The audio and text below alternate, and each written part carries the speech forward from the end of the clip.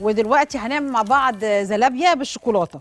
هعمل زلابيا ده اولا عادي جدا وهعمل لها آه، صوص شوكولاتة عادي وأعمل لها شوكولاتة قابلة للدهن بس أسيحها شوية بحيث إن إحنا ناكلها مع الزلابيا أو بالعسل زي ما أنتوا عايزين. النهارده ليها ثلاث غلافات. شكلهم إيه بقى دول؟ بسم الله. هنقول دلوقتي واحدة واحدة مع بعض. عندي هنا كوبايتين دقيق. كوبايتين دقيق. هنحط عليهم معلقة خميرة. معلقة خميرة صغيرة. معلقة سكر صغيرة. معلقة نشا كبيرة. تمام؟ ورشة ملح. خلاص؟ حابة تحطي فانيليا؟ مش حابة مش مشكلة. نيجي بقى هنا. يا إما هديها العسل وده العادي جدا بتاعنا. طبعا هنجم بمية. وفي الآخر أحطها في العسل العادي خالص. يا إما هعمل لها اللي هو الغلاف الأولاني. لو عندي شوكولاته اللي هي قابلة للدهن هحط لها بس شوية لبن على النار وأغليها وأسيحها شوية عشان أغطي بيها الزلابية دي. تمام؟ ما عنديش ده. عندي شوكولاتة مبشورة. هحط لها شوية لبن مع شوية زيت على النار. أسخن الزيت مع اللبن على النار وأحط عليه الشوكولاتة فبقى صوص شوكولاتة. تمام كده؟ ده كذا حاجة ليها.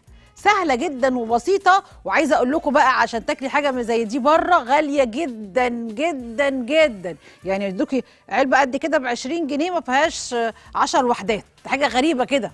20 25 كمان حسب المكان اللي بتاكلي منه. تمام؟ وطبعا عندي زيت للقلي. هنجيب هنا. فين الميه كوبايتين الدقيق. عليهم معلقة خميرة صغيرة. معلقة سكر صغيرة.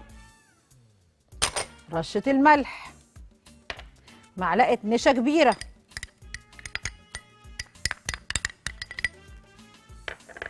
واقلب ده كله مع بعضه.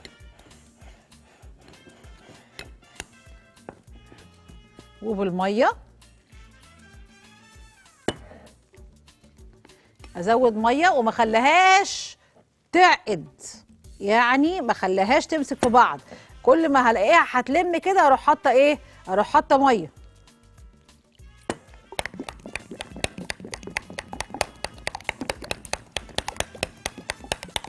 واسيبها بقى تخمر. تمام بص القوام ده حلو جدا كده. واسيبها تخمر. امم أيوه.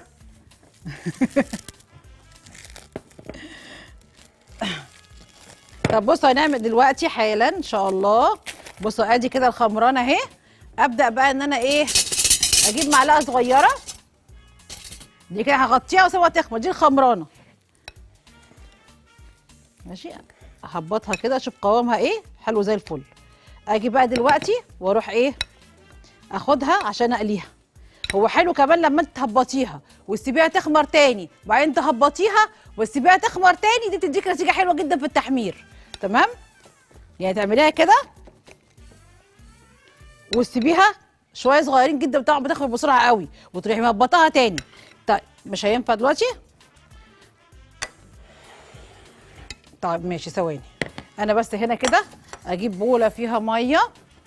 آه لا زيت. مش عايزة أخليك تعملوا موضوع المية ده. ممكن آخد من الزيت ده حتى. أبل فيه الإيه؟